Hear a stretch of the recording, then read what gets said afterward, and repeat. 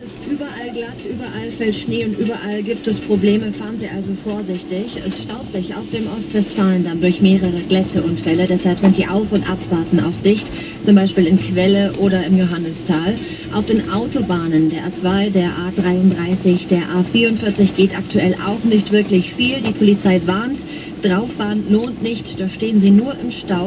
Und wir bekommen auch immer wieder Meldungen, dass Lkw mit dem Schnee nicht klarkommen und stecken geblieben sind. So passiert schon auf der Engerschen Straße in Höhe Schildische, Höhe Mediamarkt und in Höhe der Filsendorfer Straße. Ähm, dann steht auch ein LKW auf der Jöllenbecker Straße in Höhe auf der Hufe. In der Innenstadt geht auch nicht viel aufgrund von liegen gebliebenen Autos und Bussen. Auch die Bergstraßen, wie zum Beispiel die Bodelschenkstraße, am besten meiden. Es ist viel los, also halten Sie durch, fahren Sie vorsichtig. Radio Bielefeld ist bei Ihnen. Jetzt mit Tom Odell.